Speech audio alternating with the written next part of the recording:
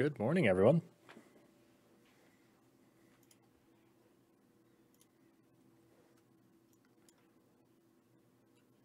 Good morning, good morning. Good morning, everybody, and welcome to the 307 RPG podcast. My name is Patrick. I'm Nolan. Nolan, today we are joined by a special guest. We have Chris Zak from Twin Cities by Night. He is here to talk to us about running actual plays and running horror role playing. Chris, how you doing? Good, good. How are you doing? It's kind of amazing being here. I listen to you guys all the time, so being part of the podcast is pretty cool. well, and you were one of the first actual plays that I started listening to. And actually, I don't know if you remember, but a couple years ago when we were doing actual plays, I reached out to you and you were a big help to us. So it's really cool for me to have you on the show because it's like, hey, this is somebody who actually helped us get started. So uh, it's it's cool that you're here.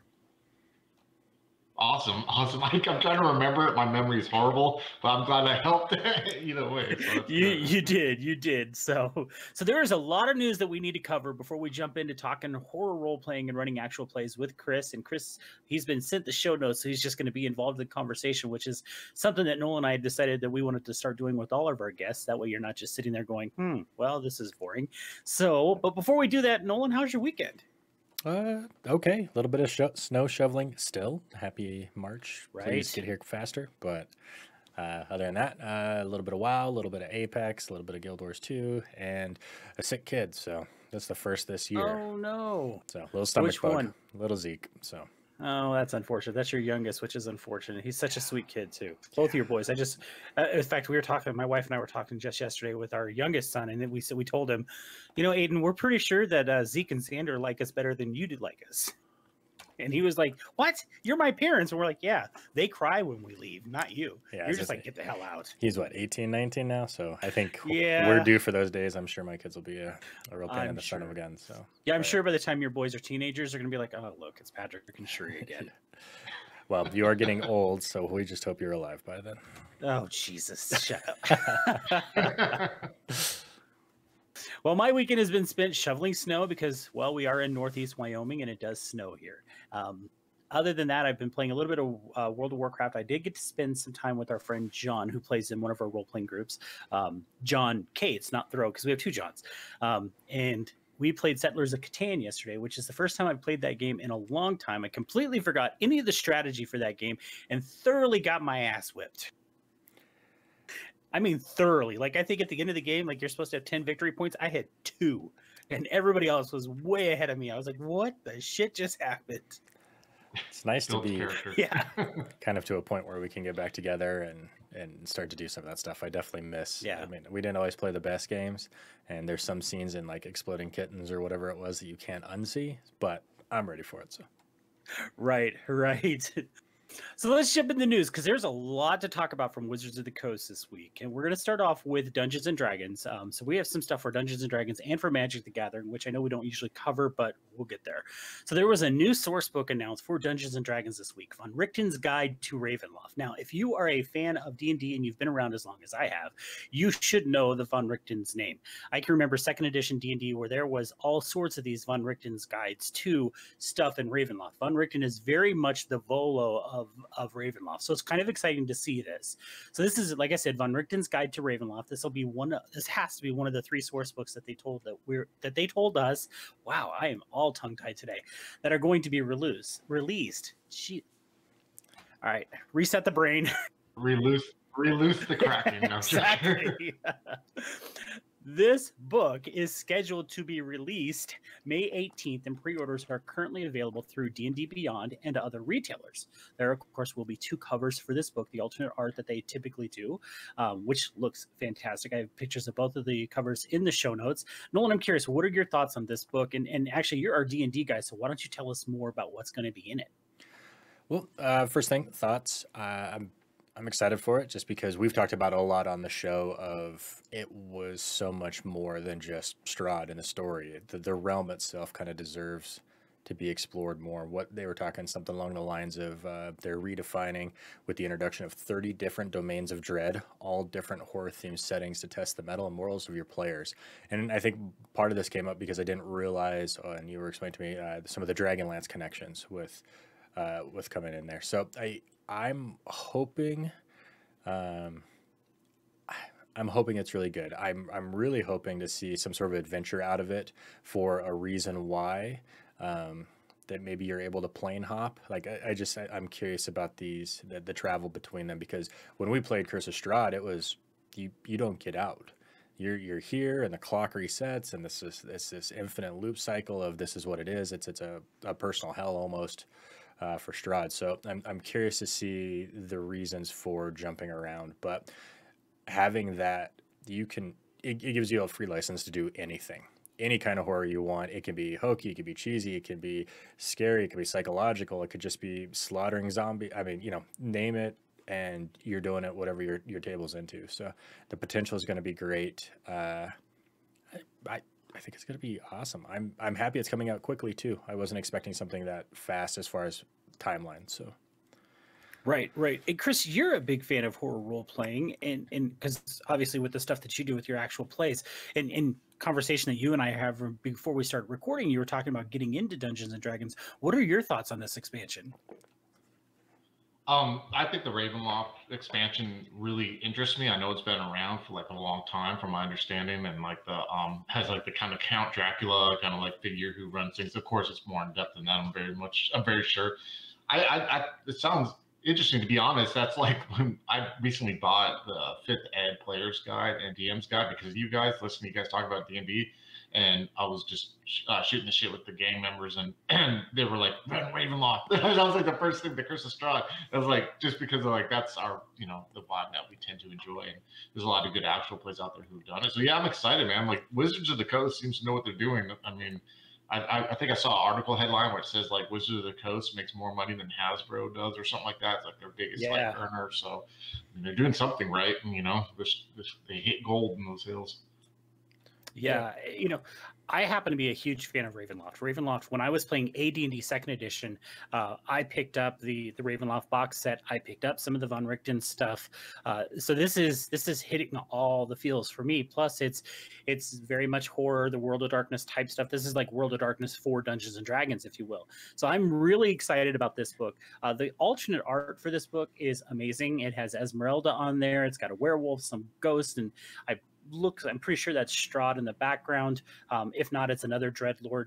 Nolan you were talking about the the dragonlance tie-in. So the very the second novel in the ravenloft uh, world was Knight of the Black Rose, and that took Lord Soth from Krynn into Ravenloft and made him a Dreadlord of Ravenloft. And and keep in mind, folks, uh, Ravenloft is a collection of demiplanes, and there's a mist that separates the borders of each plane. So the Dreadlords technically cannot go through the mist to attack each other's, but they do fight each other. So they have agents that are able to go through the mist, which was typically handled by the Vistani. And I'm curious how they're going to change that because I know with all the inclusionary stuff that Wizards is working on, especially when it comes to Vistani in Ravenloft. In fact, uh, the Curse of Strahd revamped, which is sitting back here. Thank you, Nolan. Um, really changed how the Vistani was handled. And I haven't read through that book, and I need to. Um, so I'm really curious to see how they're going to handle that, especially since Esmeralda is a Vistani. So it, it's interesting. I think it's going to be freaking badass. We should have saw it coming, Nolan. We were talking about the Gothic lineages, uh, the UA that they did, uh, which let's face it, Ravenloft is their Gothic horror realm. We should have seen this one coming. I don't know how we didn't. I guess we were just clueless. So, well, and I think when we talked about it, we were talking about uh, uh, a magic tie-in, the next source book, going to Innistrad. Right, Innistrad, right. So yeah, so we'll get we'll get those subclasses you're talking about that were in the UA. Uh, looks like we're going to get the Undead Pact of the Warlock that was also in it, and then the College of Spirits Bard. So a couple of classes, uh, a couple of backgrounds, uh, and then what else did I see that was kind of interesting? Oh, uh, over about 40 pages of horrific monsters which I think will be good. Uh, we've talked about that a little bit too of uh, Volo's Guide to Spirits and Specters. We had seen some of that stuff kind of hinted in the past, and I think maybe that was kind of building up here as well. So it looks like it's got a, a pretty healthy book for everybody, which is nice to see because sometimes it's this is a DM's book, this is a player's book.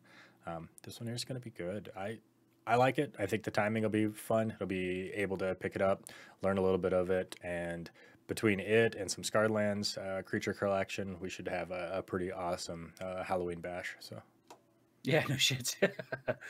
Uh, so, th- like I said, there is two different covers to this book. I did go ahead immediately reach out to Puzzles, our local game store, chat it with Halen. He does have my name on the list of the alternate arts. So as soon as that book comes in, I will throw be throwing that in the collection. This is not Chris. This isn't a completionist thing. I swear. This is just one of those things where Ravenloft happens to be my favorite D and D setting. So for sure, I understand completely. Out of little context, we're talking about collecting books Yeah. before recording. So Uh, so yeah, that is the big news out of D and D. Again, that'll be coming out. What is that? May eighteenth. Uh, it is available for pre-order on every major uh, retailer. I did find it on Amazon, and I found it on Barnes and Noble. And of course, if you don't want to be that person who has to have the book on the shelf, and you're okay with the digital, I think for twenty nine ninety five right now, you can get it on D and D Beyond. So that is a great resource for you if you're willing to buy it digitally. I, was want gonna stick with that's getting closer because I was afraid it's gonna be another fifty dollar book, and we've talked about getting the the 20 30 dollar books more consistently. Uh, right. and and that's I I'm hoping they see that people just devour content. Like they could put out probably eight books a year and double their money fairly easily. Uh, you don't want to lose quality, but again, something more consistent. Uh, you know, and maybe hopefully we'll get some adventures with it too. So Well, and that's that's my big thing with with D and D. You know, D and D used to be you buy like a supplement book, a core book, or, or whatever, a source book, and then there were supplemental adventures that you could buy, uh, uh, typically a lot cheaper uh, than spending the fifty dollars on a hardbound book. It kills me that every time I turn around, I'm buying a game book. I'm spent. It's a fifty dollar bill every freaking time, and I'm okay with picking up some modules that are nineteen and twenty dollars that are going to supplement with. Now I know we have Adventure League, and I know we can buy those, but Adventure League is very much tied into folks who are going to be doing adventures at a convention. And yeah, we've we've used them a little bit on, in our games, but for the most part, it is convention related. And I would love to see some of these people start creating stuff that isn't, and I'm fine with it being on like the DM's Guild, like a DriveThruRPG type thing. But give us more content that that doesn't cost me fifty freaking dollars every time. Yeah, something we can pick up and play in between. Your players aren't ready to be level five, but the story's ready to be level five. Pick up a level three to five adventure that's, you know, fourteen dollars. Right. Totally agree.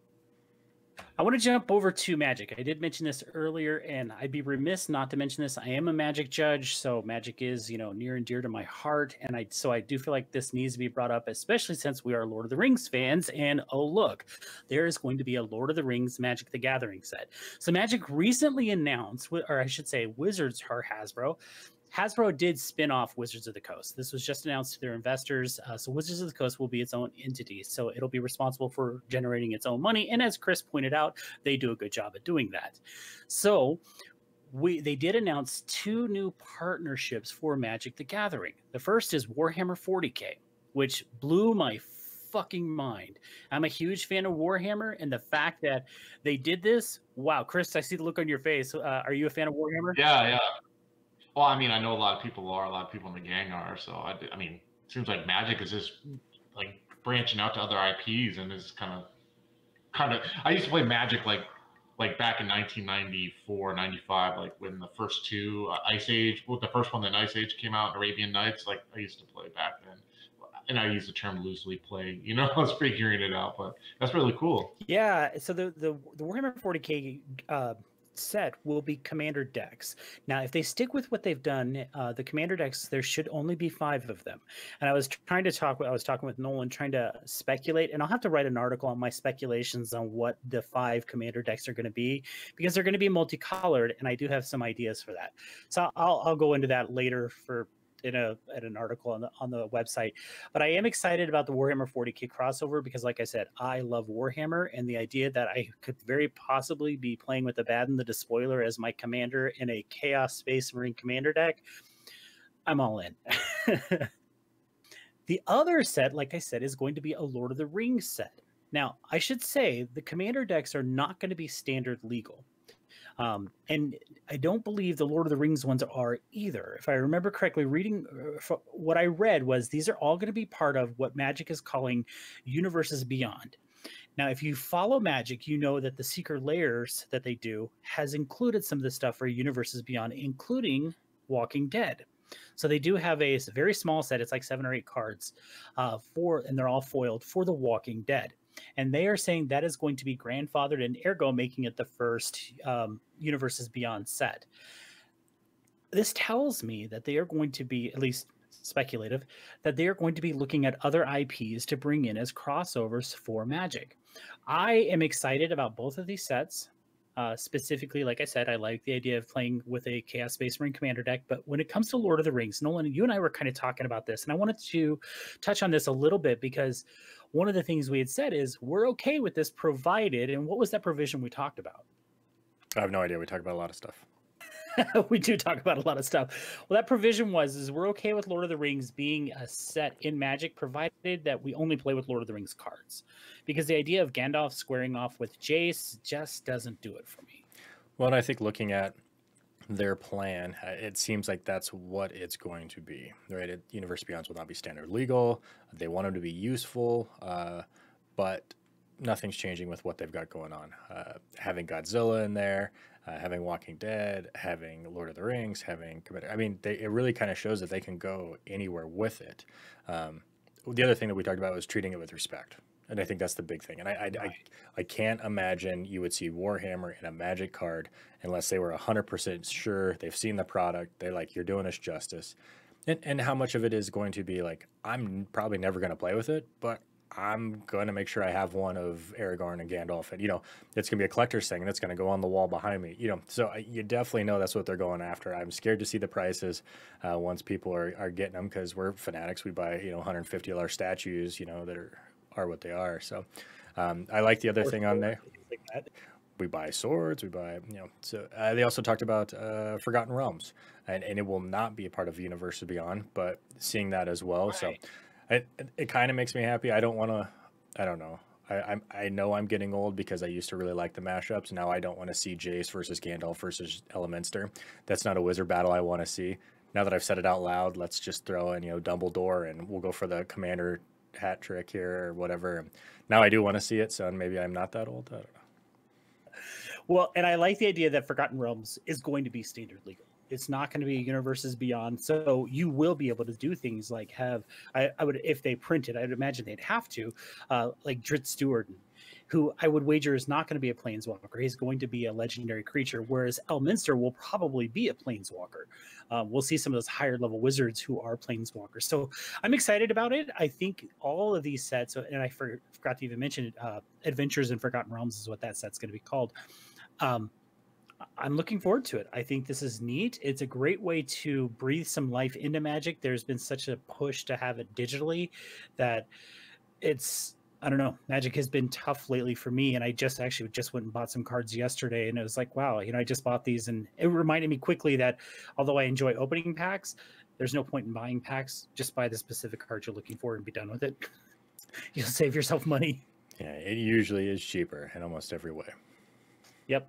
So that is everything that we saw from Wizards of the Coast. Nolan, did you see anything else that I'm missing?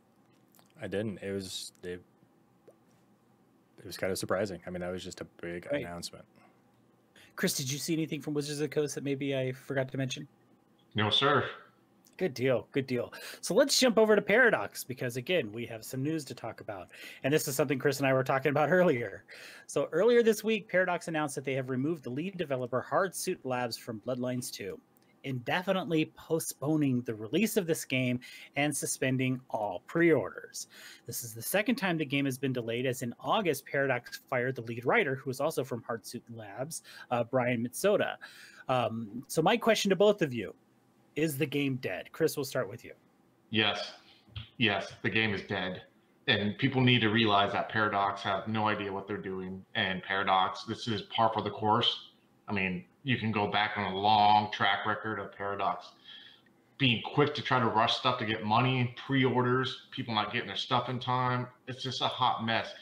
And I'm going to be honest, Paradox slash World of Darkness, like they call themselves now, they don't want to be tied to White Wolf or whatever. Their their main thing now is social media influencing and trying to like control the narrative like that and building this whole. I'm going to go on a little tangent, but this whole like quote unquote community cult mentality with the whole family thing to get to where if people even question what's going on with Paradox, they kind of get badgered by these people who who are just like almost cultists when it comes to the whole vampire thing. You know what I mean? So it, it is what it is. I um not here to be like super negative, but people need to open up their eyes and realize that Paradox is a hot freaking can I curse on here? oh, yes, you Paradox can. is a hot fucking mess right now, and people need to realize that shit, and people need to hold them accountable. And when they try to push stupid shit like, oh, uh, followers set bingo or Malkavian bingo cards, and and they're not actually like working on producing quality stuff.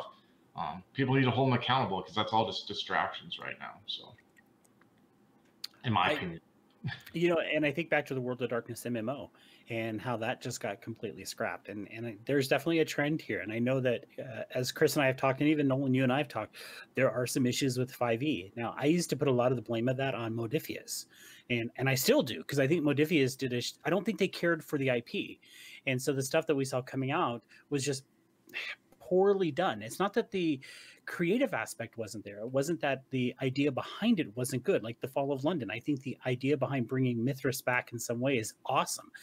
It was just edited was editing was poor, layout was poor, the technical side of it was just poor, and it made it where you didn't want to buy the game. That's a different story, though. Nolan, I am curious. What do you think? Is the game dead? I, I'm gonna go with yeah, and I think part of it is couldn't get stuff going. Uh, consistency with COVID uh, just put a strain on everything. You can't just have money out there.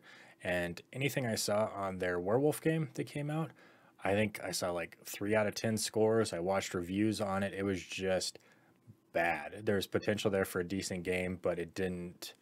It didn't win anybody over. Uh, I think it was kind of dead on arrival as well. So I think if you have something that flops that hard that wasn't done well, that also is. Do we keep money putting money into this? And I think they made the choice of no. Also, I mean, like Paradox is throwing their licensing at anything like at anything. Anyone who wants to license their stuff. I mean, how many card games are there? How many board games are there? There's makeup. There's like, it's just Paradox bought. People need to realize the sooner they realize the better. Paradox bought the World of Darkness licensing because they were friends with Martin Ericsson. One of the owners of Paradox was friends with Martin Ericsson. They bought it and they thought they were going to get rich, trying to make this like some modern day um, modern day like cultural you know rev- cultural type thing by typing into the larp vampire thing and it's failing. It's failing horribly. And and uh, it, that is because their main priority isn't making a game. Their main priority is finding licensing to to to to cash in on with it. Thus the make up the board games the the read along adventure book video games whatever those are bloodlines 2 the the two werewolf games all that stuff instead of sitting there trying to make a quality product. And if anything people need to learn don't pre-order anything that Paradox makes. People who pre-order Bloodlines 2 are getting bit in the butt. They're getting their money back. People who pre-ordered Vampire V5 slipcase, like I did, had to wait seven months, you know, for their stuff. So it's like, don't pre-order with these folks. Make them earn. And they could. They could turn the ship around. Make them earn your trust back. Make them earn the fact that, yes, they should get money from you before you see a product because they have proven they are capable of doing that. And as of now, I don't think they're proven they're capable of doing that. Right. I will say I am excited that Justin Achilli is back in the World of Darkness and, and, that he is one of the lead developers for it. Because if there's anybody who knows the World of Darkness and knows vampires specifically, he's definitely one of those people. So I am glad that he is involved with it once again. Um, I do. I did like the V5 companion that came out. I thought that was actually one of the more well done pieces that they've done recently. Um, and and and again, I said on on the show that Modiphius had nothing to do with that. And and I was very pleased with that. Now, I, I don't want to sit here and just say that I'm bashing Modiphius because I've looked at other Modiphius books and they're very well done. Very well done. Their Achtung Cthulhu stuff is very good. Um, other books like their Star Trek Star Trek stuff has been very well laid out and very well edited. Whomever they put in charge of Vampire just didn't seem to care. And so, and maybe it was somebody from Paradox that was doing it that was, you know, on the team with Modiphius. I, I, I don't know, but it was it was not well done at all. So very frustrated there. Uh, I don't disagree with you guys with that. I, I I do think Bloodlines is dead, which sucks. Uh, now I never played the original Bloodlines. I have it, which makes no sense because uh, oh look, another game that I bought and never played. I think we can all relate to that. Um, however, I was kind of looking forward to you know Bloodlines too. I after getting my ass bit with Cyberpunk, I'm just like, eh and you know, and Chris, you talked about the the read by play, whatever games, Coteries in New York or, or, or Shadows New York, whatever those were called. I did try Coteries in New York. It was boring. I mean, I think I got like 10 minutes in. I'm like, wow, I am so freaking bored with this game. I don't want to do a choose your own adventure game. I think what uh, it comes down to, and I'm not, I never played Cyberpunk, the RPG or the video game, but I've read the, heard all the stories about the video game being pulled off the PSN, all that jazz. I really think what this comes down to is that companies, and I'm not trying to like go on some tangent, but companies want to cash in on IP, and they, and they think that just the fact that if they create something, they're going to get that that the the fans are going to automatically buy it, and and they don't care about the quality of it. You know, and Cyberpunk's a big case but also Vampire is like that too. You, I mean, you could still release. They could release anything with the term vampire in it, and they're gonna have people who are gonna buy it no matter what, and who are gonna push it no matter what, and who are gonna be fanatical about it because it's a part of their identity. And that's what these role playing games, these gaming companies do, is they realize people game and, and gaming is a part of their identity and they take, try to take advantage of that to get money. That's some of them will put out substandard stuff knowing that people are going to buy it no matter what. And even if people give it a negative review, people are going to defend it till they're blue in the face just because it's a part of their identity. Right, right. Although I will say the Heritage board game, um, I was looking at the quality of that game and just reading through it. It's it's awesome. They did a hell of a job with that. That's nice. Yeah, it looks cool. I, I think I backed. I don't know if I got. it's one of those. I was going through back and then you think vampire phase, you know. So. Yeah, yeah. Speaking of uh, Kickstarters, let's jump over to Onyx Path real quick because they do have a new Kickstarter going, but it's not a Kickstarter; it's an Indiegogo. As we mentioned last week, uh, Victorian Age Mage is currently on uh, Indiegogo. Onyx Path has stated that they wanted to try out other platforms besides Kickstarter. Doesn't mean that they're giving up on Kickstarter. In fact, uh, they have another Kickstarter starting very soon for Trinity. Uh, so I know the game looks like they surpassed their initial ask of 35,000. I want to say they're around 53 or 54,000 right now, and they are knocking down some stretch goals. I know Mage isn't the most popular World Darkness game, and I can't imagine Victorian Age is going to be super popular, but I will say I was looking at the uh, the artwork for it, and you talk about you're hitting my feels here. You're mixing magic with steampunk it looks good. I'm not going to back it just because I'm not going to spend, you know, a hundred dollars for a deluxe book that's truly just going to sit on my shelf like I did with the Technocracy Reloaded. Um, but it looks pretty damn cool. Have either of you looked at this one? I, am a huge Mage fan. I, I never have played it or ran it. I plan to run the actual play of it once I wrap up our Vampire Story in Mage 20th. I think Mage 20th is one of the best role playing books I've ever read. Um, I think it touches a lot of like cool things that I like about um, you know just just about the subject or whatever. Uh, Victorian Age Mage is awesome. I for whatever gripes I may have occasionally with Onyx Path, I think they produce good quality stuff. I think uh, uh, uh the whole ask the the whole thinking of like mage in the uh, 19th century with all like the secret societies in London. I think of you know like the Order of Hermes and like all the. I mean, this is before Crowley, but all the you know what I mean, all the Seventh Circle, the White Initiative, Dragon, Solar Burst, or whatever. You know, like I just it really excites me. So I'm actually thinking about backing that one. I haven't backed the Onyx Path one in a while, so I'm I, am i am thinking about it. Yeah, you, you talked about Onyx Path stuff, and truthfully, I don't care what you say about Onyx Path the quality of the books that they put out is phenomenal. I mean, every book I've gotten uh, through Kickstarter, through Onyx Path, very well edited, very well laid out. They make great use of space, and the quality of the print is uh, top notch. And of the, I think I have two deluxe books. They're they're awesome. They're incredible books. They're obviously collector's items. So I'm really excited about this one. I won't be backing it just because I it's it's just I don't need another deluxe book sitting on the shelf. Nolan, I know you and I haven't played Mage at all, but we have talked about it. What are your thoughts on this one?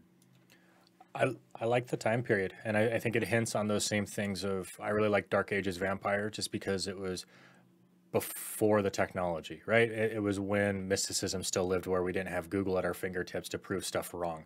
And so seeing that time period for a mage when you could get away with doing some shit, I was I was pretty excited for. I was like, I like this better, but I'm also a high fantasy person. So Dark Ages Vampire was great because you could cover your tracks, you could blame it on the plague, like you, you got away with more stuff. It was kind of at the height. And I'd be curious to see this one here. It doesn't necessarily seem to be at the height, but at the age of discovery. And I think that would be a lot of fun of like you were saying with the councils and the, and the secret societies of we're tapping into something here. This is going to be the start of something that's going to protect the world, but we're still trying to figure it out. So I think the I I like the idea of it. I would probably get more into this than I would probably the the a more modern version, just because. Sure. Technology messes with my fun sometimes, just because it is so much harder to do stuff, and I think that's the point. Don't get me wrong, but I I'm used to being a hero or a badass, and when you got to hide it all day long, like what's the point? Like, geez, Superman who doesn't fly sounds pretty boring. So, right, Chris, I'm curious because I'm I'm not sure. You did mention that you're a big Mage fan. I am too. It's also like you. I've never been able to play it. It's one of those games that I love that I've never played, kind of like Cyberpunk. Um, is this a remake of a book, the Victorian Age Mage, or is this the first time that they've dove into it?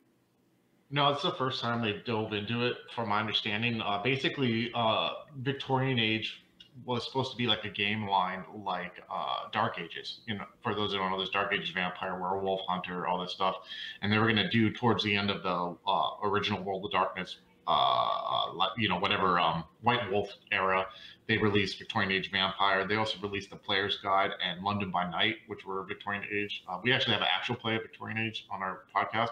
Um, and so, from my understanding, this is going to be like another, you know, in the Victorian Age line. So I don't know if they ever plan to do like Victorian Age werewolf or changeling or, or you know whatever wraith. I think would be awesome. It kind of has that weird you know vibe. Um, but those are questions that you know Onyx Path probably have. But I know Victorian Age Mage has been in the talks for like three years. I remember people talking about like three or four years ago. So. So is Victorian Age Vampire is that 20th anniversary edition or is that revised or second? It was revised. It came out okay. at the end of the revised line, yeah. So I don't know if Onyx Path ever plans to do it again. But it's interesting. I mean, for those who, who may want to get a vibe of what the the the um the setting is like, there's a trilogy of novels called the Victorian Age Vampire Trilogy. Um, I'm not a big fan of like IP novels. I tend to find them to be a little corny, but these three are like really good. There's scenes like that are so fucked up. I had to put the book down and be like, you know, talking about horror. Yeah. And so for that to be in vampire novels, which most of the time I roll my eyes so far back, I see the back of my head. Um, these, these are really good. So people should check them out. Philip Brule, I think his name is, wrote them. So. Okay. I'll have to check those out too. Uh, jumping over to Ptolus. Nolan, do we have any updates on Ptolus? I haven't seen anything. It's been fairly quiet. Uh, every now and then I get a picture or two like that, but I think we're kind of in the home stretch here. So I'm hoping the next news we get is the big news yeah, I think soon you're just gonna have this email show up from a shipping company. And you'll be like, what is this? And then you realize your UPS driver is about to sue you because his back went out carrying your goddamn big box. I'm okay with that. It's not my back. yeah, exactly. Speaking of Kickstarters and things of that nature, the One Ring, uh, as we've stated, the One Ring Kickstarter is completely funded. I think they're sitting at 1.4 million right now, which is insane because I think the initial ask was only, ask was only ten thousand dollars. So yeah, it is amazing how well this is done percent higher, holy or whatever. Holy shit! yeah, it is huge. And as I've been saying, I did end up going ahead and backing this one. I did not do the collector's edition, and the reason behind that is, and Nolan and I had a lot of conversation about this one here, was I ultimately want to use the book. And I would be very upset if I ruined a collector's edition. And my thought was the or the regular edition looks beautiful. It's a great looking book. I'm okay with buying this and using it. Hopefully, I don't ruin it. Um, and of course, it does come with, and, and I was really happy about this as well, is that it does come with a PDF. Now, I, I, I can't tell you. I, I, cannot tell you how excited I am about this this Kickstarter. It looks like it's supposed to be fulfilled in November of this year, which would be tells me that the game is done. Now they're just trying to get the final pieces put in place so they can get the game printed and shipped. Uh, you know, here it is. What we're about to hit March tomorrow, and they're telling me in November I'm going to have this Kickstarter fulfilled. Holy crap, that's super quick for a Kickstarter. So I'm okay with that. Um, with it being second edition, they kind of knew what they were doing. Uh, they knew they had a following, and I honestly think this was just like, how much are we going to print? I mean, we're going to do this. How many do we need to yeah, do? Exactly and then now I'm not so certain. I think that was such a good idea, but I how would you how would you guess, right? You know, we're gonna we're gonna put out this much content, and then you know some people are going to buy it. We're going to print this many books or whatever and this and this and this. And then you run a kickstarter and it hits 1.4 probably 1.5 million dollars before it's done. There's there's no way you could have guessed that it was going to be. I mean i don't care who you are. I don't think anybody's that arrogant saying yeah we're going to do you know 5000 books you know and, and before it even you know it's just insane it, it really is, and, and you know they had they had stretch goals up to a million dollars, and of course those are all unlocked now. So now they're adding more stuff. Like I just got an email yesterday, I think it was, to let us know that it'll be an add-on, but uh, you can get instead of the the fold-out paper map of of Middle Earth, it's now a roll-out cloth map that you can get. Which I was like, I don't think I need that, but I'm not gonna lie, I'm a little tempted. I look badass on your wall, you know what I mean? yeah, exactly. My wife not might not appreciate that being the new blanket on the bed. well, and I think it, it ties into what you guys were talking about earlier too. Of you you can throw a Lord of the Rings thing out there, and I'm probably gonna have a hard time not buying it for the sake of the IPO. Um, but when you see somebody that takes it, cares for it, and does it right, these are the results you get. This isn't somebody just throwing out a Lord of the Rings thing. This is somebody who who loves the game, handles it with care, is a passion project coming together in that thing. And that's what I think we hope for all of them. You know, I think that's why we're scared of the the D and D movies. We're scared of you know the World, World of Warcraft movies. It's like, okay, are you are you going to handle it with care, or are you just trying to make a quick buck? Um, and when you do everything right, you get 1.5 million dollars on your Kickstarter book. Amen. Amen. Yeah. Yeah, and, and you know, Free League is is not a company that I'm too familiar with. Uh, I know they are a gaming company based in, I believe, Switzerland or Sweden. Sorry. Um, one of the books that they did recently, and I and I forgot because we actually talked about it on the show, was Vaesen, which is a Nordic horror role playing game, uh, and I had never heard of it. And we did mention it quickly on our show once because I think there was a Kickstarter for it this is you know i was kind of doing some reading trying to figure out exactly what free league does and, and just check out some of their other games and i remembered obviously i saw this and i was like oh wait we talked about this one. So i went and i looked through and i was reading through that book and the reviews on that book and i was intrigued enough that i went ahead and purchased the book um, the artwork looks I mean, this is one of the books that I know I'm just going to enjoy reading. Um, so I think once that book gets in, Nolan, that might be one that I lend to you so we can both read through it and then we do a show on it because I do think it's going to be an interesting thing. And I thought, you know, it'd be neat to just look at some of the other products that Free League is putting out because it looks like they got some pretty cool stuff. Yeah, I I'm excited to play it. I know a lot of people are excited for it. I mean, it it obviously, but I mean, just from a standpoint of I think a lot of the sales aren't because it's Lord of the Rings necessarily. I think it's because they do a good game. So, uh, man, yeah, might be time to take a break from 5e for a while. Right. All right, D&D, we're going to put you on the shelf for playing Lord of the Rings for the next 10 years. Never coming home. exactly. Um, all right, so that is the news that I have found. There, I'm sure there's a lot of other stuff that I could have could have come up with, but I wanted to make sure we had enough time because we got a fairly large topic to talk with Chris about today, um, and I wanted to make sure we had enough time for that.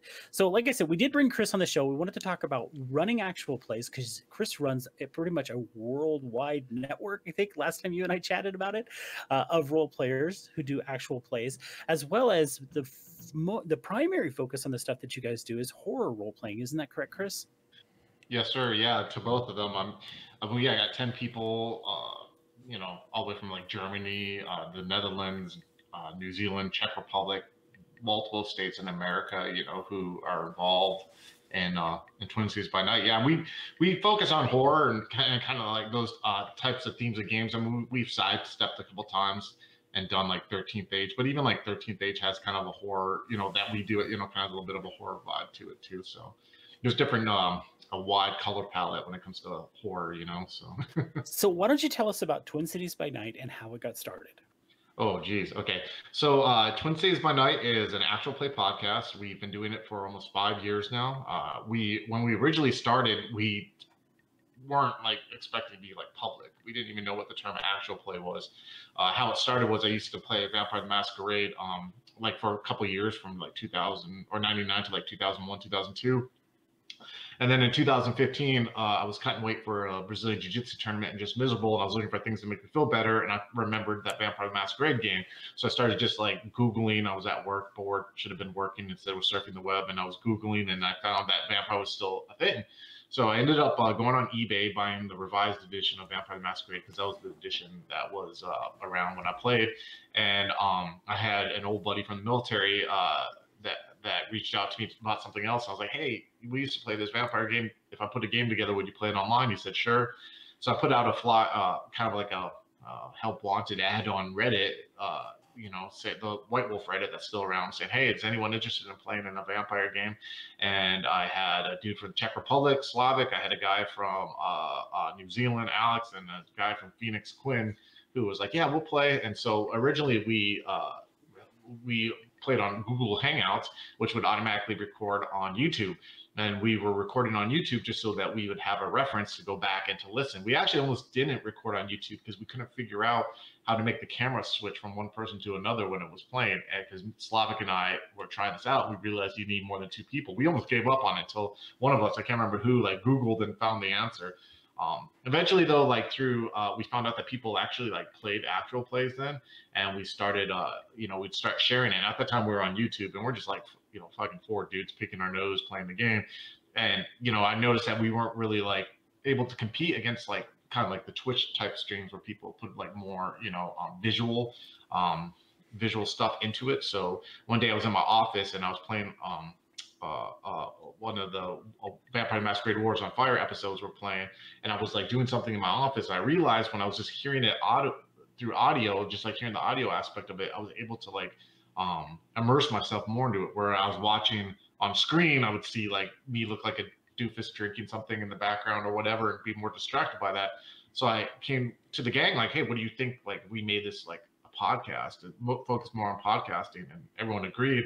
Um, and then through the trials and errors of learning about like um, editing and microphone quality and all that stuff, you know, we're at, we're at where we're at now. And now, we, you know, with having 10 people, kind of, we've grew from that original, like those original four players and we've added more people.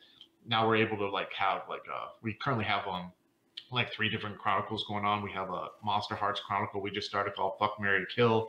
We have one uh Dawn Darker Trails called the Cthulhu game uh, called Missouri Crossing, and then I'm running Vampire Masquerade uh, Twin Cities by Night Eidolon, which is like a duet uh, game with Adam uh, where he plays Giovanni, and then we have like one shots that we randomly do if we have any anyone has an idea. So, uh, yeah, we're just a well-oiled machine, man. We're just rocking and rolling. It's kind of crazy because it used to be like where I was like doing all the editing and doing the thumbnails, and now it's like everyone does stuff, and I feel like I'm just along for the ride. It really is kind of like surreal when you like two months will go by, three months will be like shit. We release something. You know, we, we record it's like not as much uh, stress and pressure it used to be, uh, you know, when we are first getting going. So, and it's a passion. So, love it. I know I've listened to there was a Chronicle to, Chronicles of Darkness games that you guys did. Um, I think it was set in like the 1930s in the Midwest. I'm trying to remember because it's been a couple years since I listened to it. That was yeah, really good. Yes, yes, that's yeah. it.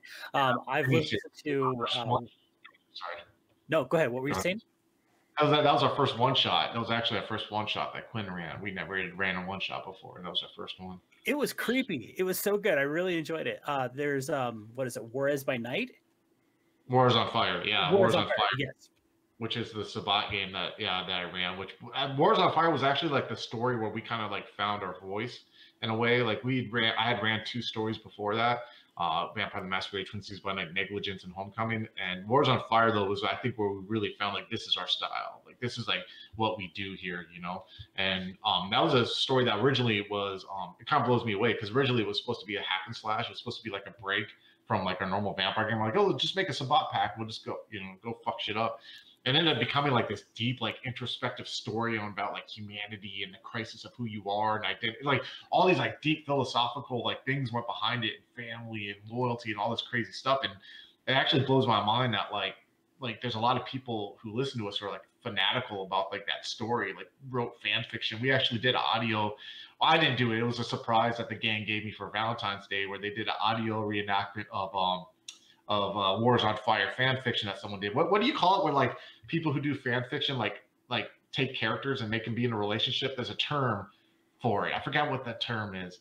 Uh, yeah, yeah, yeah, yeah. There's some kind of term. I didn't realize it. And so they did it like as a joke, but like they recorded this audio drama where people narrated and they had people do voice acting. And then they gave it to me for like Valentine's Day because they know it would make me feel uncomfortable because it always blows my mind that people like take these stories and do that. So we released that on our Patreon. I was like, we got to share this. This is so crazy, you know? But anyways, yeah, I digress. I'm sorry no, no, no. And let's say I've also listened to Delta Green. There was a, a Delta Green episode that you guys did, um, and it's not always the same people, and that's what I enjoy about it. It's not always the same people doing the same thing. And now, don't get me wrong, I I love like I I do listen to Red Moon role playing, and I and I love some of the stuff that they do because they it is like super super super um what's the word I'm looking for on point. Yeah. It's well, it's on point, but it, it's. Point. It, they i mean you're dealing with people who are professional theater actors right and so everything that they do is so edited so uh, perfected, like the music, everything. I mean, they add everything. What I like about the Twin Cities crew is you guys put out a great product. You have a great story. You're not professionals, so you still get that. You get that feel of this could be the group sitting around. You know, your crew sitting around the table playing, and it's still a quality product.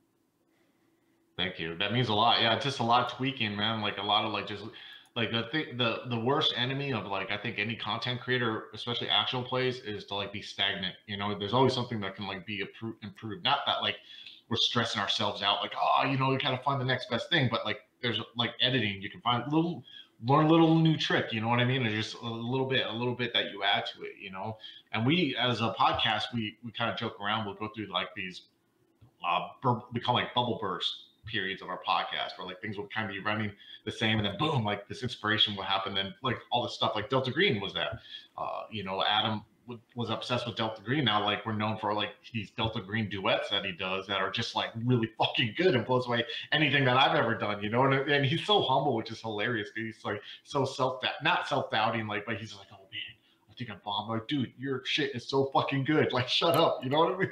like, you know, but yeah, so we go through these creative bursts. You know, you, you got to kind of evolve the whole time, man, or you can easily face burnout, or you know. So that's what we try to do. Just find like little um, things to get better. Nolan, I know you and I have struggled sometimes, like because we did start out doing actual plays, and God, you remember some of the frustrations we had. Well, I think a lot of it too is getting people in You're a muted, room. Oh, I'm sure. There we go. I don't know why it does that sometimes. I, I think a lot of it too, trying to do it in a room with everybody versus online has been so much easier. You know, as far as that goes, or you know, is it's easier to do it this way because everybody's in control of their own stuff. The echoes, getting everybody to you know be quiet while the other people are talking. You know, all that stuff. Push to talk is a godsend, especially in a house full of kids and that kind of stuff. So, I, but it is one of those things of you try it, you do a little bit, you learn, you edit, you grow. Um, and you kind of move forward and towards the end of it you kind of get something that you really like but it sucks starting out. I mean, it really does, just because I don't think anybody, nobody wants to put yourself out there and be embarrassed by it. I think we, you know, you talk about having the self doubt and putting yourself out there. Everybody has that, and nobody's, you know, proud of their own stuff, but we love the stuff that people are doing around us. So it's, it's a it's a scary leap and and seeing it get crafted yeah. and honed and into something where you can start to have that creative stuff of I'm not worried about the audio right now unless I'm muted, you know, but I, I'm you know it's it's the little things that you get used to along the way. Yeah, I know, Chris. Yeah, I, like I talked about um, that you were one of the first people that I that I reached out to because yours actually is truly Twin Cities by Night is the first actual play that I listened to, uh, and it prompted me because we were struggling so much with actual plays. That's I reached out to you and was like, hey, you know, some of the questions I asked was, how do you get around the echo? How do you get around who does all your editing, stuff like that. Um, and it was really an eye opener for me to think about because you know we're sitting around the table with three different Yeti microphones and it's causing kind you know feedback and echo and stuff like that. You talk about frustrated. There was times where I just scrapped the whole thing. I'm like, no, we're not doing this. I'm not putting it out. It sounds like shit. Or we we have the microphones set up like you know we learned about the rule of three feet for each microphone, and so we had the microphone microphones all around the room. And then next thing you know, it's sitting too close to somebody and I can hear them breathing. And you don't want to hear that over and over and over. Or, or you know, because let's face it, when you sit at a table and play with each other, you, typically there's going to be a snack involved. And now you hear that person eating potato chips or something like that. Yeah, exactly. And you're just like, God, why am I wasting my time doing this? How many, no one, how many times did I come to you and go, yeah, I can't put that episode out? It, it happened a lot. And, and again, I think it is having pride in what you do and, and caring about what you do as well. So it's, uh, yeah, I don't, I don't miss the The thing is, there's people who like that vibe though. That's the thing. Like, there's so many different kinds of like actual plays. You know, there's people like the Twitch stuff. There's people like podcast stuff or stuff like mine. Or there's people who like stuff like just hey, put a microphone in the middle of the table. I want to hear everything. I want to. I want to feel like I'm at the table. You know, I want to hear the side talks and the banter and all that stuff. You know. Um, so yeah, it's really just coming down to finding what your style. The thing that we're lucky is that we just play online. You know, like you said, we, you know, whenever someone's like, "Oh, hey, I'm getting, I'm listening to your, I'm starting episode one," the first thing I say is, "Audio gets better." You know what I mean? Because like I went through and edited like so much of that just to make it sound better. You know, we didn't know about muting our mics. I mean, I remember like when we were ripping the audio of our YouTube videos, and there was like some like deep fucking scene going on like in our second story arc, and you could just hear me in the microphone like I did, I had like one of those like headphone mics. I, I did like people are talking. I'm just like, oh my god. But now we know like mics and all that stuff and stuff that's common. But yeah, it's a it's a labor of love for sure, man. So how what would you tell somebody if, if somebody came to you and said, "Hey Chris, we're thinking about starting an actual play podcast," kind of like I did that one time. What would you what what, what advice would you give someone? I would give the advice I would give is have fun. Like you got to have fun. You cannot like listen. I'm gonna be um, well. I don't know. I'm gonna speak for myself here. I'm gonna be brutally fucking honest. Like this is not a job. You're not gonna make enough money that's gonna even make a fucking dent to like do anything. You know what I mean? Like don't think that you're gonna come into this thing and you're gonna make this fucking well polished object that's gonna make you the next Matt Mercer. That's just not going to happen.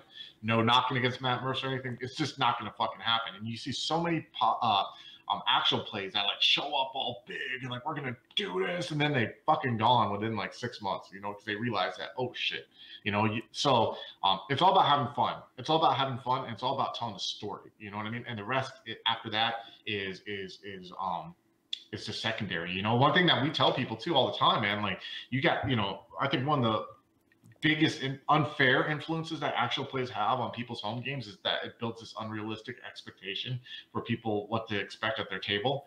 Um, you know, sometimes like this is something that me and Becca from our from our gang talk about all the time. You know, she runs a lot of home games and she like like wishes she could get like some of the stuff she gets from Twin Cities by night when we play. But the thing is like, you know, we show up for three hours and we know we're recording. So you're gonna get a different fucking mindset than someone who shows up for three hours. They're gonna like play at a table. You know what I mean? So like don't like don't beat yourself up. Have fun with your friends and tell a story. And I think people will, um, from my experience, will gravitate when they feel it's like genuine. You know what I mean? Like like I don't you know I'm not trying to use the term authentic and all this like you know fuck all this like uh, pretentious, you know, shit. But it's just like people are gonna tell, like, okay, these guys like are having fun playing a game and are telling the story together, and they're gonna get excited by that too. So, and it's a learning curve, bro. It's a learning curve. I mean, you got exceptions like the Red Moon folks who, like, like you said, have that very high quality, you know, that editing that takes a long time, and the music, and the and the, they show up with that. But ninety nine percent of people aren't gonna show up with that kind of stuff, dude. You know, so. Right, right. And what about because there's a lot of noise in actual plays. There's a lot of people playing games. Um, do you think it's uh, something that if you are going to get into an actual play, like Nolan and I talk quite a bit about, you know, trying to diversify or or becoming experts on one topic. Let's face it, there's a ton of people doing D and D. Mm-hmm. right we see a you know d&d streams popping up everywhere do you think um, if you if you're trying to get noticed that you should be that person, that go-to person for like Vampire the Masquerade or Changeling the Lost or, or something like that. Uh, what would you say about that? Um, man, that's the the biggest challenge when it comes to creating anything is to be noticed, right? Um, I've seen in five years people try to do a lot of different things. All I know works for me uh, and for us is we are in charge of our own destiny, our own fate. No one else is. Um, no company, uh, no influencer, uh, no personality, nothing. And and me personally, and again, I'm not trying to sound bitter, but I'm gonna kiss no one's ring in hopes of getting like a little bit of promotion for my stuff because I'm gonna do it myself because I want to feel that gratification knowing that hey, we got these listeners because of our hard work we put in. Um, so social media, you gotta have a social media plan when you have content actual play, and you gotta stick with it. You gotta find ways to get people to notice you um, the, the media page I started, the, the World of Darkness Onyx Path media page, was a big tool because I found you come up to a lot of resistance when you're trying to do it yourself. You know, you can have like uh, a forum, a web forum, or a Facebook group where if someone from like LA by Night or Critical Role posts, they get adoration and worship then someone like me posts and you have these like scenester nerds like who are you and they get all angry when you try to self promote even though they worship these influencers and personalities who got big that same way you know um so it's on you companies aren't going to do it for you i hate to say it i've had companies a couple times i love it by the way there's companies other than world of darkness that like will retweet us and all that stuff and I, I appreciate it but we don't see these huge friggin' bumps when they do it. You know what I mean? You, you don't. It's you're you've got to put in that elbow grease to do it. Um, and you got to find, and again, it comes to like what I said about the podcasting element of it, where you got to find ways to improve. You can't be stagnant with your stuff and then be like, why is no one listening? You just got to figure out new ways of doing it. That's a, that's just how it is. And if anyone wants advice on it, hit me up, and I'll do the same thing I did for Patrick with the uh, with the actual plays. I, to me, this is like fun, and I, I love sharing it because I want to see sincere, genuine people be successful in doing it. Absolutely. Nolan, do you have any questions before we move on to horror role playing? I don't. Uh, I think it covers a lot of it. I think you see a lot of that as well. Uh, picking a topic that you're not interested in. Uh, we like we like Scarred Lands. I'm never gonna touch Pugmire. It's not for us. I know there's not a you know there's a few people doing the live stream, but I'm not gonna have fun doing it. So I probably shouldn't play it just for the sake of less people doing it. So um, people will see through it. It's just like Twitch. It's just like YouTube. You can spot a phony and a fake who's going through the motions a mile away. So uh, I, I, think that's the advice too. Is like yeah. you said, if you're not having fun, it's going to come through as well. So pick a topic you like, pick a spot you like playing in, because at the end of the day, ninety percent of this is for you. You're not doing it for anybody else. I mean, if somebody happens to hop on and enjoy the ride, and it'll blow your mind, but for the most part, it, it's for you and, and and your circle. So enjoy it. Yeah, I got a fun to add to that if I could, real quick. I, you know, I got a funny thing, a little funny story. Uh, I'm not going to say any names, but when V5 came out, a lot of these actual plays that were on Twitch and YouTube who've never even talked about Vampire started playing Vampire, and a lot of people don't know behind the scenes they were getting paid. A lot of these people were getting paid to play Vampire for the companies to help promote V5 that was about to come out.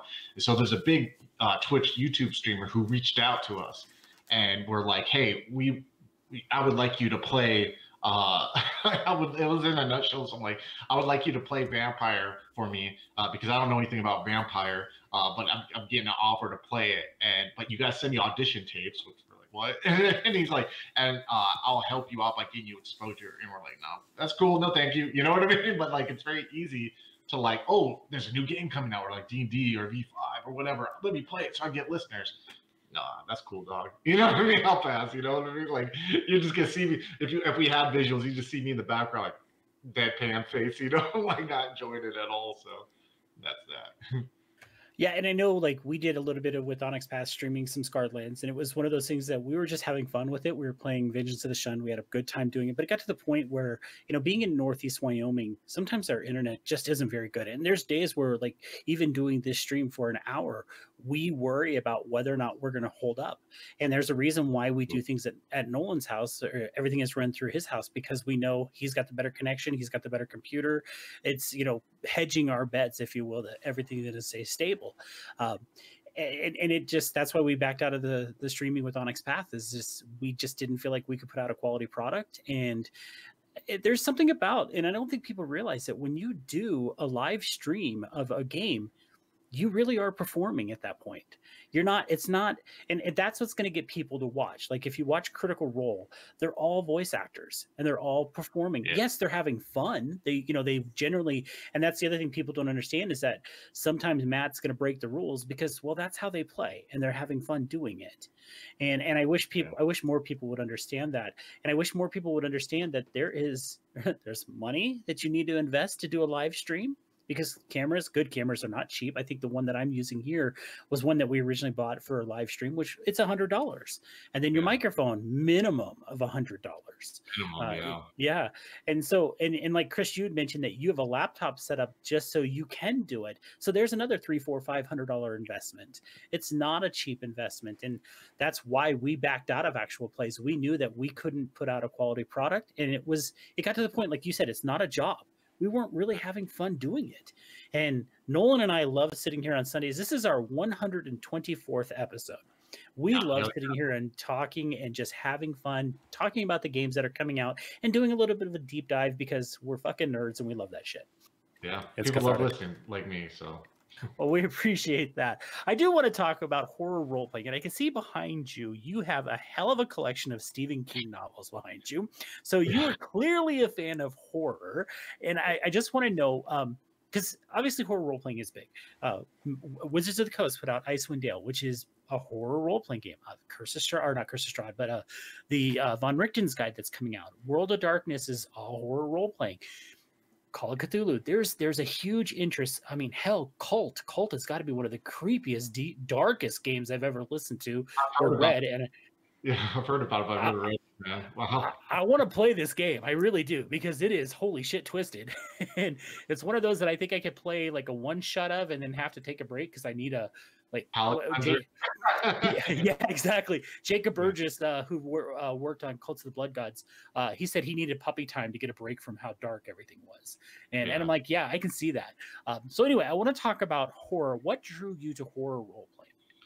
Uh, well, my uh, the fact that I enjoyed horror gaming, um, or not horror uh, novels. I'm not like um, for the record, uh, that's one of my four bookshelves. This one book, book like book clout now, but um, uh, I I liked horror. I like horror novels, but I don't like horror novels for um like any uh lack of term, like any like macabre sense. Like I'm not one of those people who like to like watch like uh what do they call those movies like torture porn kind of stuff like that. I don't I don't like that. I like I like the the feeling because I think um in, in society and just in real life in general, I think that oftentimes to see the good, you have to have the contrast of the bad. You know what I mean? And um and a lot of like the Stephen King stuff that drew me when I was younger. I used to be a bigger fan when I was younger. Um, was that sense of like good and evil, you know what I mean? And like you read books like The Stand. I mean, that's the main premise of The Stand. Or you read It, you know, like which is, is one of my favorite books to this day that's a big thing good a sense and evil and there's a lot of like lessons that can be learned in life by reading horror i feel and, and kind of like bringing that that sense of uh, handling the sense of vulnerability like death and loss and struggle that that that are tackled in um, horror you know? It's almost like drama you know? You kind of learn life skills in a weird way from reading drama or watching drama movies or just like old drama from the greek days you know what i mean? Like there's a lot of life lessons that can be learned from there. So the horror gaming aspect really drew me to it uh, because I could tackle a lot of uh, horror themes and also like a lot of uh, real life traumatic events and stuff like that that are horrific. You know, the real world can be a very horrific, horrific place. You know, it has to be inspiration for horror, and unfortunately, that can be the real world. And so that's what I love about horror gaming in itself. There is a difference between horror and terror. Mhm. Um, and and I Nolan and I talk quite a bit about this because I think you know we see uh, maybe I should just say not necessarily horror and terror. Like I think about seeing like some of the movies that we horror horror quote horror movies that we see that are just basically a hack and slash movie.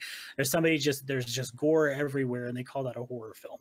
Yeah. And then there's that horror that you mentioned that makes you uncomfortable. Mhm. And how do you, as a storyteller, uh, when you're doing a, a horror role playing game, how do you instill that feeling in your players? What are some of the things that you draw upon to do that? uh immersion like deep immersion that sounds like super sick or like i'm not like hypnotizing them or whatever but i'm setting the scene really like pulling them in there you know uh, some of the things i do that i like to do in my game games and the horror games i run are some common things are one asking a player what their characters think about something you know like sometimes i feel like a shrink you know what does your character feel about this? And they'll answer like oh is that because your relationship with your father like your relationship with your father you know and i just kind of like get the char- the players in the mindset of their characters to start thinking about those characters. Not like in a you better talk in an accent or you know wear a costume just mean like think really think from that perspective of this character you're playing and second setting the scene you know using my five senses. Uh, i always talk about this when i'm interviewed about like what i do as a storyteller something i learned from the military. A lot of times what i did in the military you'd have to like um, in a way reenact like situations that you came across or things that you saw to give a big picture for planning purposes. And so that's utilizing your five senses. Like what do you smell? What do you feel? What do you hear? What do you see? You know just really like try to like pull someone into that. Because you got look like there's an example here uh, for people who listen to my dread story uh, there was a um uh, in the second story arc of our Twin Cities by Night story called Homecoming, there was a Ventrue who had a ghoul who unfortunately was physically traumatized as like a sign for him to like step back from whatever he was doing. And this Ventrue was cold-hearted bastard and used uh, um, dominate just to be like, hey, this didn't happen. You know what I mean? So this this woman who was this ghoul had all this trauma, obviously pushed back in her head from being dominated with the forgetful mind power. Well, their story arc, that character had died, and so what I wanted was to tackle like this ghoul was starting to like these memories were starting to pop up in her subconscious about stuff that had happened, and so um, there were, I set the scene in the third story arc where like two of the uh, the players uh, characters were looking for this one player, not knowing he had died, and they go to like this establishment that he has where this lady's in there um to ask her what happened. And so i kind of set this tone like where they walk in and like there's like how dim it is and how like there's no one there and there's no music playing. And then they kind of hear like a slight sobbing and they slowly like building this anticipation to where they walk up to the bar and they look behind. They see that she's taken a Brillo pad to her forehead because when she was assaulted, someone uh, wrote something on her forehead, and so she's like Brillo padding and not remembering, you know, why she's doing it, but just feeling like she had something done on there. And I had a um uh, Joseph, who's one of the producers from Mage the podcast, like reached out to me, like, dude, that scene, what the fuck, you know? Because I explained like how like had looked like a skin knee and it had it wasn't bleeding, but had a thin veneer of like like like uh, white blood cells and like mucousy, and you could see like the flesh a little bit. And just like I really like took time describing it, and the players oh shit, you know what I mean? They're just like having to react to that. So it's like this slow build up and really pulling them in there. Where on the reverse end, if I would have been like, oh yeah, you walk into his uh, bar and uh, you hear some noise and you look back and she's just Brillo pad in her head, they would oh, what's going on here? You know, and, and during the whole time too, I'm even like so what are you thinking not hearing this? Like, what is your character thinking? Like, like I don't know. Like, I want to walk closer. Then you start incorporating the beast. One player had it fed, so he, he failed the self control, so he had to leave because he didn't want to frenzy. You know, when he saw what happened, so you like just build this tension, and it just builds up, and that's what you can do as a storyteller. You know, not everything has to be like just walk in the room and there's someone in the behind the bar crying. You know, because they're not gonna they're not gonna react the same way, and a lot of times it's the player's reaction. You know, that's at least my opinion. Yeah no, I, I, agree. Nolan, you're not somebody who typically dives into horror role playing. I kind of had to drag you into vampire a little bit. And and I know there's been definitely times where we will have a scene and every one of us the scene will end and every one of us are just kind of looking at each other like, what the fuck just happened? And so I'm I'm curious, uh, as someone who doesn't, you know, typically normally gravitate towards horror role playing, um, what are some of your thoughts on horror role playing? Um I my goal with it and when we've played it and stuff like that is one of the things of I always check myself to make sure, okay, are you having a weird feeling about what's happening? Okay, you're still normal. Let's keep going. Um, just because sometimes it is. Uh, I know that a lot of my horror characters usually are uh, either fairly old and don't give a shit or fairly young and don't know better so I can add an element of comedy into it. So I can, I can, you know, you can snap somebody's neck and feed on them and be like, I, you know, this guy's got a poor diet or whatever, and make a, a, wisecrack about it because you know just to help uh, deal with a little bit more. Um, the other thing that I find on is it's a lot easier to push that thing. Like like you feel that unease and and i'm a big person of liking experiences and stuff like that. I'm like okay this makes me feel a little fucked up. Let's dig a little deeper and and, and that's usually where the best seams come from because like you said it, it's getting pulled out of you or whatever and you're like okay i want to see how dark this goes without going over the edge or anything like that. Let's see how close we can dance that line. Um, at the end of the day I, I still like high fantasy. I have a hard time not playing a paladin. I like i like being a hero. I like doing the right thing um, just because the world is so dark as it is you know i can't sit in my room and and and fix you know things so i get to do it in a gaming world. But in here I, it's if you're not into it, it's okay, but I, I recommend playing it because I became a better role player because of it. Because it isn't about the hack and slash. It isn't about that stuff. It's about the psychological thing. So now when I sit at a table at D and D, I'm a I'm a one upper, right? I'm gonna set the tone for the story. I'm gonna have a little goofy voice. I'm gonna go over the top, and I'm gonna try and bring the players with me because of my experiences with Vampire. Because it is so psychological. It is so weird, and you have you get in that mindset, and you kind of walk away, and you're like, oh, "Wow, I didn't know I had that in me, or I didn't know I had that in my subconscious, or I'm so happy I don't think that way normally. Like, I'm sorry that was really messed up. I, you know, whatever." So. Yeah, uh, the good thing about Vampire 2 that I like and um, other horror games too is you can choose to like like like at least in Revised like the humanity system you know, and you can have where something's done. And depending on the role, like you talk about the evolution of someone and how they can become, um, it can be a very intense game. I mean, when I run stuff, I mean, it's funny. I hear stories of people like, oh, I ran like four sessions this weekend and da da da. Like, dude, I run one session, I have a hangover for like a week. You know, like a I call it ST hangover, where I'm just kind of like, you know, because there's some very intense stuff that you can run. And and like I said though, like it doesn't have to be like intense personal decisions. You know what I mean? Like the, we've had both. Like we had one scene in, in the Dread story where Katal, the gang girl played by Quinn, had a feed. And it was just a random thing. And he did. He actually had this girl in his car because he's trying to take care of her that he found. And he and he uh, failed the self control roll, so he didn't want to frenzy on her. So he spent a willpower point to get out of the car. And he's in the middle of this like uh suburb of, of the Twin Cities, you know, and he's trying to like desperately trying to find something to feed because he knows he can't go back to this girl because he's gonna kill her and he doesn't want to kill her if he does it. So like we have this whole creepy scene where like he breaks into this house and then he like looks in one room and he sees like a, a boy who's asleep and he's like oh and he has to make a self-control roll and he goes to the next room and then it's like a girl and he like makes a self-control roll barely and then he goes and he sees like there's a father and a mother and he sneaks in and he like feeds off the father and is able to like sneak out. But it's like this huge. It was like off the top of our heads, like this huge, like intense like scene. But then on the other end, in our Wars on Fire game, which is a Sabbat game, which is gonna deal with like some darker stuff. Like you know, sometimes you gotta like put a, you gotta say, okay, I gotta step away for a second. And we had what like the uh, Alex, the player of Coyote, um, like who had to be like, hey, can we come back to me? You know, and I'm like, we're fine like that. We have the X card. We're huge proponents of the X card or fade to black. You know what I mean? Especially me, I fade to black quite a bit. I'll be like, all right. Let's fade to black here. You know, because the, the, to me the intent is not to be an edge lord, and I fucking hate edge lords.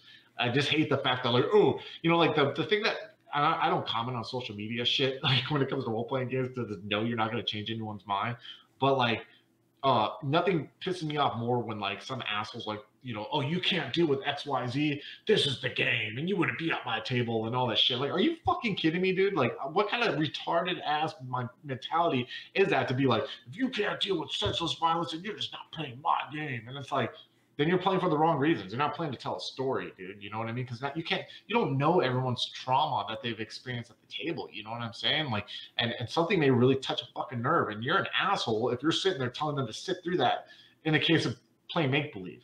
Like, are you fucking kidding me? You know what I mean? Like, that's that's what right. And I I've listened to you before uh, talk about you know like hey you know like I prefer high fantasy and I get that you know what I mean like you can't expect everyone to like the same shit you know what I mean? And you can't fault them for that. I, I, totally understand. Like, hey, there's enough fucked up shit in the real world, and people handle things in different ways. I like to explore it and like the stuff that we do. You know what I mean? For me, but I get it where someone's like, hey, that's not my jam, and okay, that's cool, man. I dig it. You do you, brother. You know what I mean? I'm never gonna fault anyone for that. Well, and you've you know, I think with a good horror film or something like that, like my mind's way more messed up than you could ever show me. And so yeah. sometimes setting the scene in this here, like I'm gonna, you know, we don't need to know every gory detail about it because I'm going to make it worse than you could ever describe to me. So, yeah. you know, sometimes it is leading up to that thing and, and, and just letting it be is okay. Let it be because yeah. I'm going to make it worse. It's the worst the thing I ever saw. The imagination is the worst fucking thing. Alfred Hitchcock and Psycho. You know what I mean? Like you don't need to see or get stabbed. You're just going, oh ah, fuck. The imagination's going to do itself, man, for sure. Yep. And it's a game. We're all here to have fun. You know what I mean? Yeah. Contrary yeah. to people think, I guess. And and horror role playing is definitely not for everyone. And, and again, Nolan and I have talked quite a bit, like Kult specifically. Like I've listened to some of the stuff that Redmond role playing's put out for Kult, and it's some dark, twisted shit. I mean, there's I, I have a very vivid imagination and I listen to those games and I'm like, holy shit. And there's definitely times where I'm like, okay, I can listen to one episode and then I need to wait till tomorrow to listen to the next episode because that is a little bit too intense for me. Uh, Kult is definitely one of those games that's going to push you probably more than you're comfortable pushing and and I think it's okay to be pushed like that. I'm okay being uncomfortable, especially like you said, you're a big fan of the X card, Chris. And and I think that is so important. That's and it leads me to a question. Um, how do you deal with the situation where you have a player who you unknowingly have pushed too far and and and and they have a, a, negative reaction like even in the game. Have you ever had an experience like that where you accident unknowingly uh, completely unintentionally push somebody to a point where it was bad and you had to say wait stop. Hold on. What's going on? Um no i i, haven't had that. I don't think because i think like just with us playing for so long together and like when i started twin cities by night i I uh, was very open, like, hey, this is going to be deal with personal horror themes. You know, this is going to be like superhero fangs kind of thing. It's going to be, and I was very open about that. There's a scene we have an NPC called uh, Roman Dunsirn. Um, he's a ghoul uh, for the Giovanni Dunsirns are like a um, like a family that's within the Giovanni. For those of who don't know, um, and there was a scene involving him early, early, early, like our fourth time ever playing. That like I look back on now and like, that was a little too on the head. You know what I mean? Like I wish I could go back and redo it, but that's part of the learning. But we've never, you know, no, we've never had like anything like that. Like, but but I know my audience. Like like I said, I know my my players. You know what I mean? And I know what they're capable of. We talk all the time. We're fucking we're, we're buddies. You know what I mean? So we know each other's like levels of stuff. Like for Monsterhearts, for example, that uh, I'm not in Monsterhearts. I'm not playing it or running it. Um, Tillman though, he talked to the players beforehand. He's like, hey, you know, like what are boundaries? What are you know what I mean? Like just so we know and and you know everyone knows that. And I, I, I mean, like again, like listen, I'm not like I mean, you know me outside of here, Patrick, where I'm like social media, got Facebook. You know, I'm not like a hippie, and I'm not trying to. You know, I'm not the most like you know whatever, but it's like I think that these things exist in gaming for good reasons. You if you're gonna play a horror game, you've got to know this, dude. You can't have that ignorant mindset where it's like everything should be on the table because then it's like you're gonna fuck your friends up, maybe. You know what I mean? And you're gonna like make it unenjoyable. And I don't want to lose friends over that for real, you know. But um, but the pat, the dude, the it's so funny. Like I um listened to you guys about uh uh D and D fifth. Mate, I think I told you beforehand. Like I went and bought the two uh the players guide and DMs guy from Barnes and Nobles one day because I'm like, oh fuck, I always hear these guys talk about it. Let me get it. And then uh, we've been playing 13th Age, and I was joking with Slavic who runs 13th Age, and I was like, this is fucking awesome. And he's like, like, this is such a nice break from like, you know, like just I played a thief. It took me like the third time play where I played a thief and I'm like backstabbing motherfuckers and teleporting and all that shit. I'm like, this is fucking rad. I get it now. I get like, why this is just such a nice palate cleanser, you know, from like playing heavy shit. You know what I mean? So yeah. yeah, you know, and, and that's a great point. And I know like Nolan, Nolan is is definitely our our D and D guru. He he he keeps me playing D and D without a doubt. Now it's nice that Wizards of the Coast puts out stuff that I am interested in, like the Ravenloft stuff, and Nolan's able to just tempt me with little carrots here and there and say, "Oh look, Patrick, yep, we're gonna keep playing." Although now that Lord of the Rings is coming out, that that's now me tempting him. But you're right; it is nice to be able to take a break from some of these heavier games. And let's face it, role playing games are, especially World of Darkness or horror role playing games, are heavy. And and like I think about Call of Cthulhu, and I've I've only played Call of Cthulhu once. Had the time of my life. The guy who ran it did a fantastic job. It was a creepy game, and it seemed like every time we turned around, like he would you know talk about a random noise you heard, and like from the bathroom, the toilet seat would fall down. You know, weird things like that always seemed to happen. It was so bizarre, but it, one of the things that we talk about is is some of these heavier games called Call of Call of Cthulhu stuff like that seem to lend themselves like because uh, for those of you who don't know and it blows me away that people may not know this one of your biggest goals in Call of Cthulhu is not to go insane right? Because there's so much eldritch horror or just shit that you deal with and I love that system in Call of Cthulhu. And it really seems to me that it lends itself to a very short story arc it's not something that I can see playing long term. And I think you're right. Like D and D gives you a nice chance to step away. It's okay. We're gonna go play D and D. Rinse our brains from all this dark shit, and, and have fun. Still be able to immerse. In, and Nolan, you brought this up. You know, it made you a better role player playing those types of games. So I really think that adding all these aspects together helps. And so, Chris, my my question to you, and, and a long way to get here is someone comes to you and they've never played a horror role playing game before, what would you say to them? Would you give them any sort of warning, or what are some advice that you would tell somebody who's never done it before? Oh man, that's good. That's a good question. I should have figured that was going to be a question being asked. I would say that like it's a good way to, uh, if they're intimidated, it's a good way to explore things in life and to process things in life. Um, there's countless, countless, countless things and stuff that I've ran, that I've done, and that players have done um, to explore and to process past trauma that they've experienced. Um, you know, I've I have NPCs in my games that are brothers of mine that uh, took their own life. That that I have that use the same fucking name, and it's a way for me to process them and to uh, relive like what I enjoyed about them. Um, there's things that you read about in the world, you know, things that I process through that. You know, so um, if you look at like a healthy mechanism rather than a mechanism to um, to disturb yourself. Of course, I mean, you, t- you mentioned Call of Cthulhu. Like, there's so many different styles of horror games that you can run. You know what I mean? Like, Call of Cthulhu even has within it. You know, we, uh, Craig, who's like a resident Call of Cthulhu uh, guy, ran uh, My Little Sister Will Make You Suffer that I played in. And it was a weird dystopian running man, you know, in Hunger Games trying to survive against your peers kind of thing. And then I ran Hotel Hell, which is like a haunted hotel. You know what I mean? Different things. There's so many different ways that you could do that brings out different things. Not every horror game, though, has to be deep personal reflection or extremely disturbing horror. It could just be spooky ass shit like Scooby Doo. You know what I mean? It could be like the Delta Green shit where you're like X Files stuff and you know what I mean? And you're exploring. So you can very easily play a horror game and not prepare to be fucked up and have to, you know, sleep. We talked about Mage before. Mage is a horror game. It deals with me. It deals with fucking people who have the ability to change reality, but have the human flaws of hubris and like thinking they know what's right for reality on both ends of the spectrum You know, you think of cult leaders like Jim Jones and all this shit. You know what I mean? That could potentially Ben Mages. So there's different horrors. You know, not everything has to be like Kult. You know what I mean? Which I don't even want to know. Like my mind is going like, how, geez, how fucked up is this game?" You know, I keep hearing about it, but it's fucked up. Yeah, yeah, but you can do different eerie horrors. Like I, I have a book in front of me, and I, I pulled this book out before we did it, just because I wanted to bring up a story in here if it came up. Uh, it's a book called the uh, the Imago Sequence. Uh, it's a short story uh, collection written by a gentleman named uh, Laird, Laird Barron. Um, has a very like Delta Green kind of weird horror vibe to it. Looks like your recording thing went off. I just want. Yeah, I saw that. Well, okay. don't worry about it. gotcha.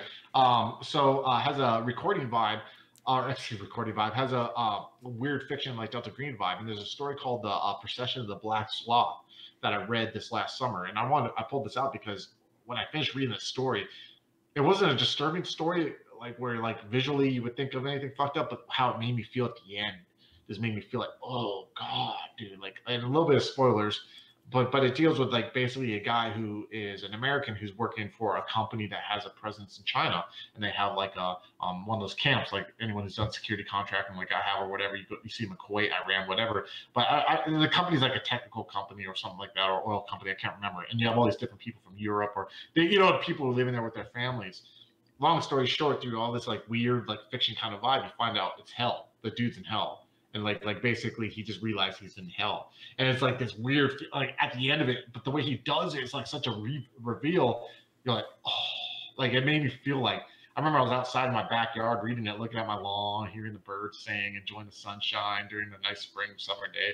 And I read that, I was like, oh my fucking god, this has ruined my day. But it was in such a good way though. But it wasn't like anything that was like like disturbingly like saw or anything like that, dude. And that's fun though. That's like walking to that edge there and that little bit like a roller coaster. You know what I mean? Like, it brings that fun, and that's why I like about horror sometimes too. You know. We we look Absolutely. at a lot of that stuff, and I think I I think a big thing for me is like I personalize a lot of stuff. So like for me, like one of the most messed up movies I saw was The Road right? Oh yeah. you know what I mean? Like as a as a as a as a father and that stuff, like those are like my things. And I think Kult deals with that stuff a lot too. You know, like for me the impossible situation is is not being able to save your kids. Right. And so yeah. it's it's one of those things of like, you know, that's kind of my thing of like, you know, okay, this is my line in the sand. Like I, I don't mind. I'm just gonna take it a lot more personal. Don't be too weird with it. So I would say that having that conversation of saying, you know, going into it, uh, session zero is what is in D&D. What are you not okay with? I don't, you know, or this is going to have something in it just so you know if it goes too far you know let me know or if it's pushing a thing you know feeding on children or whatever it is you know some people have flaws and and it is what it is. yeah. but yeah just communication i think we talk about that in d&d as well of be open to having an experience, but also at the same time, if it's not if it's not going the way you thought it was going to, or if you're having a bad time, talk to your game master, your storyteller, your DM, because again, they want you to be there. They want you to have fun. I, I, you can't run a game by yourself. So. And it's also on DMs and STs to check with their players. I do that once in a while. But hey, what's going? What do you think about the story so far? You know what I mean? Like, and and we have that relationship with those speak out. And thankfully, I haven't had anyone be like, "It sucks, fuck you." You know what I mean? Like, but you know, I still ask anyways.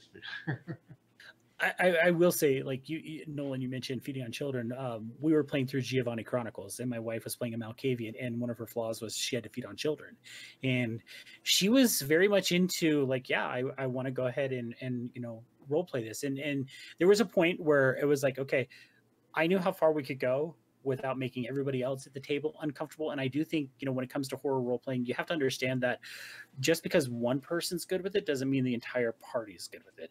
So you, I think you have to be able to say, okay, we could take it to this far, but then we have to stop because I'm not going to give your, make your pleasure uh, paramount to everybody else and and have you know four or five people sitting there feeling horribly uncomfortable. And it was enough. I mean she was you know gracious enough to say yeah no that works. And I, and i think that's the other thing is you have to know your players limits. And you talk about checking in chris. There were times during giovanni chronicles like especially I, am assuming you know the giovanni chronicles chris? Yeah i figured you did. You've been around yeah you've been around world of darkness long enough. So um you know the very first book they put taps in their necks and I, I remember looking at Nolan and just seeing the look on his face. And it was one of those moments where we had to say, all right, cool, guys, let's take a break. Is everybody okay? Yeah, and I think like, it was just catch you off. Right? That catches you off guard. You're like, oh, it's gonna be this kind of thing. Uh, okay, okay, buckle in. Yeah, Giovanni Chronicles, I think, suffered a little bit from like the '90s edge lordiness. Sure. You know what I mean? Because like my first thing, how does that logistically work with the taps and like, like not? I don't think about that kind of stuff, and it grosses me out. But it's just like, when did someone die? If you put like, you yeah, absolutely. yeah, yeah, like, and, and I think you're right. And, and it was a Black Dog Gaming Factory book, and they were Yeah. they. I mean, they made it very clear we are going to be pushing the limits with these books. yeah, Clan Book Baali, Jesus Christ. like, Yeah. that was the first book book I read. I almost threw it across the room and been like, "Fuck this!" Like that opening. You do not need that. You do not need that. Even in the '90s, it didn't need that. right you know so we have we have come to the end of our show this is we're a little bit longer than what we normally do but i wanted to give you time chris to talk um nolan before we sign off do you have any other questions for chris I don't think so. No, uh, it's it's informative. It's nice to see another genre that goes away from what I'm into, um, and and kind of as my signing off thing there. I would say play them just because I don't have a high fantasy character now that doesn't have some sort of story. Because who in their right mind picks up a great sword?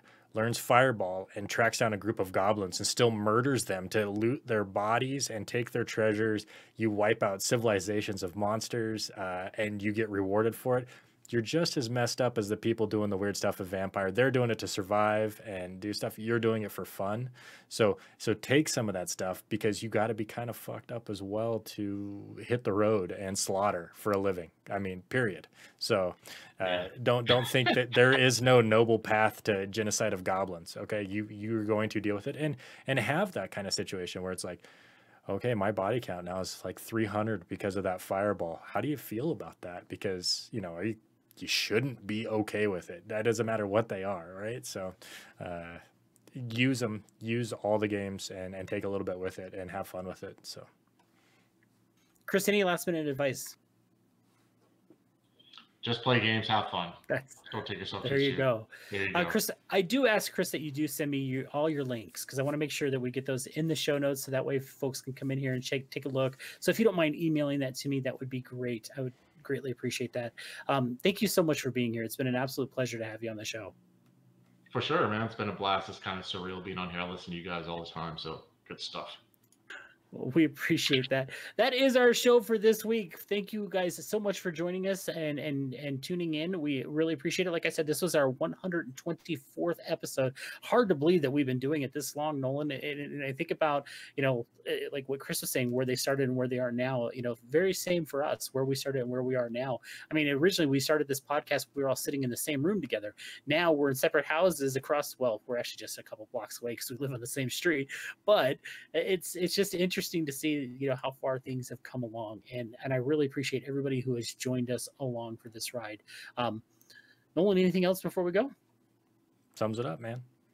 perfect thank you so much for listening everybody have a good week Bye. Bye. Bill Satan.